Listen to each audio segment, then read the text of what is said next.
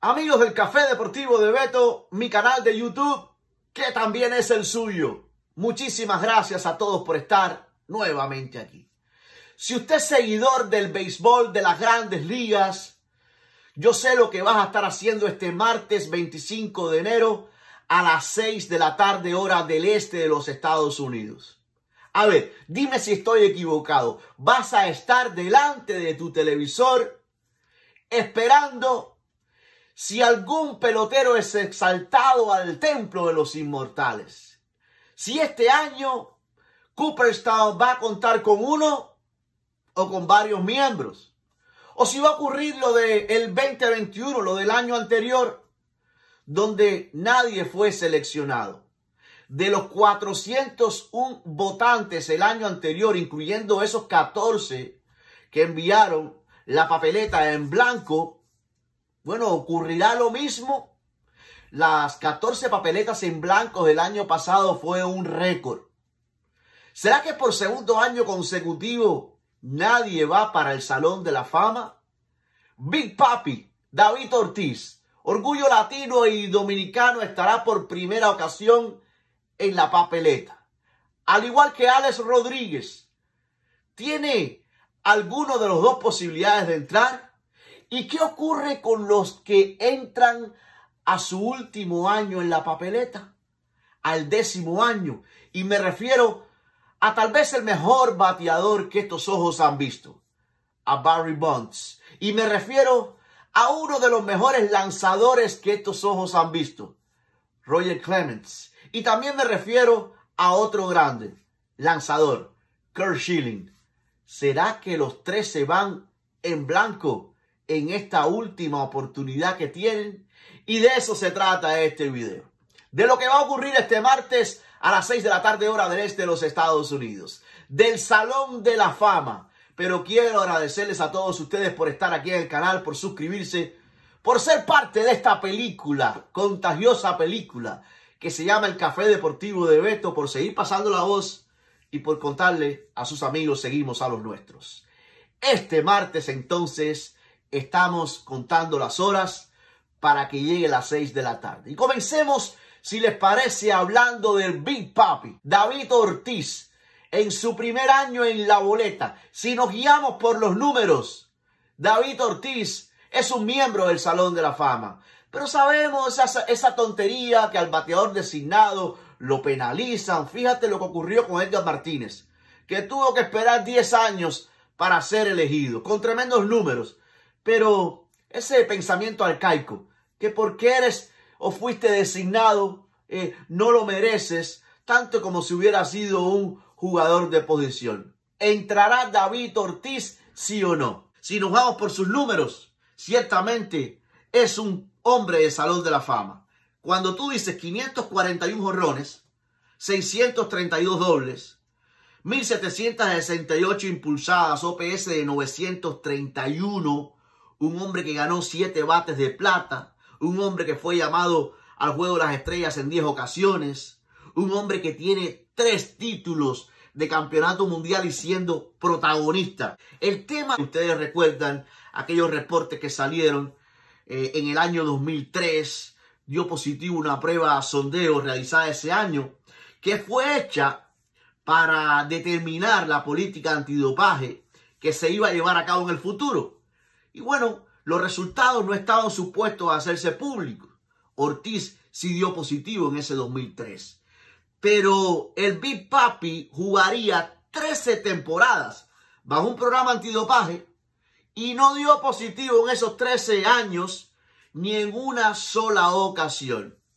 Con relación a si entra o no en el conteo de las boletas públicas, lo que se sabe es que tenía el 84% de apoyo.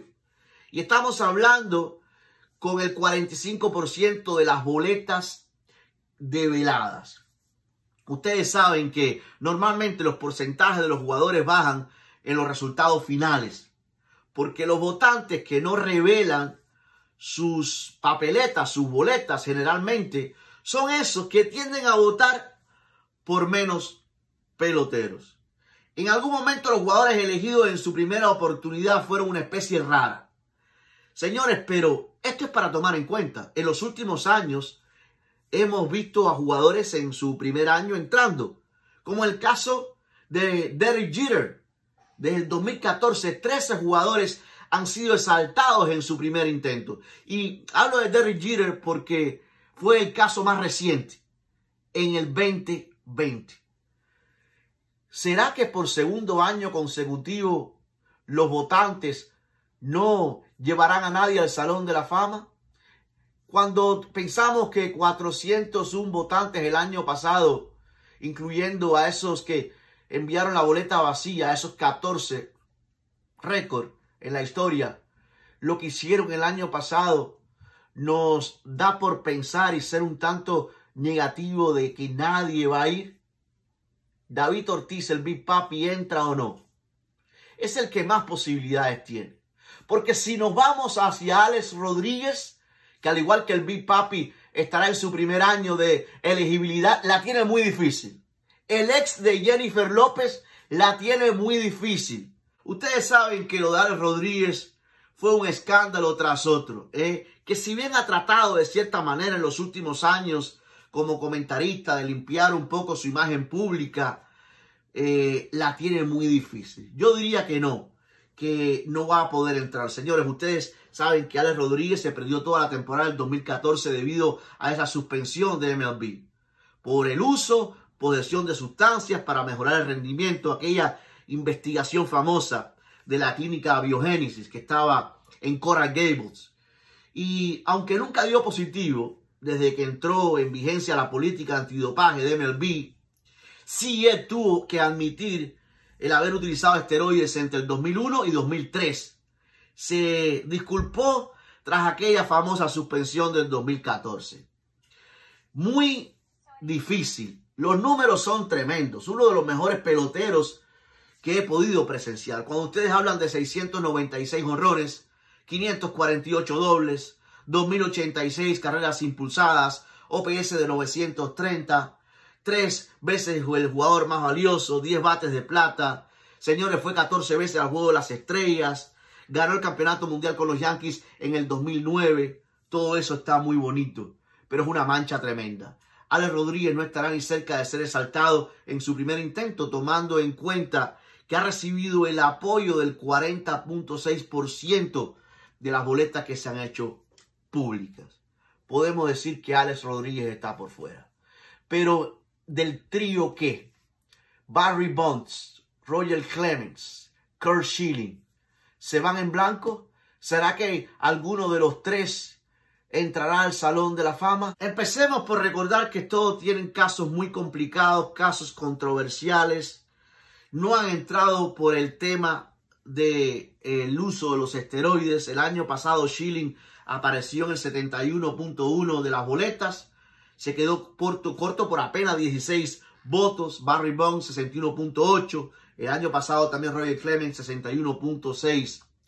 Tanto Bonds como eh, Roger Clemens estuvieron muy, pero muy lejos. Ustedes recuerdan el escándalo, inmediatamente después de conocerse los resultados, Schilling publicó una carta en las redes sociales que le había escrito al Salón de la Fama, que, donde criticaba la forma en que se hacía esto y que le dejaran por fuera, él no tenía ya interés, que le retiraron su nombre de la boleta para el 2022. Esto se le negó pero sigue perdiendo votos. No creo que vaya a entrar al Salón de la Fama Schilling. Bonds y Clemens, los dos asociados con el dopaje, necesitarían una ayuda muy grande de los votantes anónimos. Eso que, como les decía, los anónimos son los que normalmente no les dan el voto a peloteros que han estado, cuyos nombres han estado involucrados en el tema de los esteroides.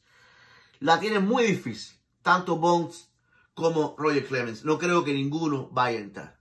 Después de todo este análisis, si entra alguien, será David Ortiz el Big Papi. Por el momento a esperar hasta las 6 de la tarde hora del este de los Estados Unidos de este martes, a ver si alguien entra o si ocurre lo del 2021 donde nadie entró. ¿Qué opina usted? Suscríbase si no lo ha hecho, active la campana, porque aquí tenemos la mejor cobertura.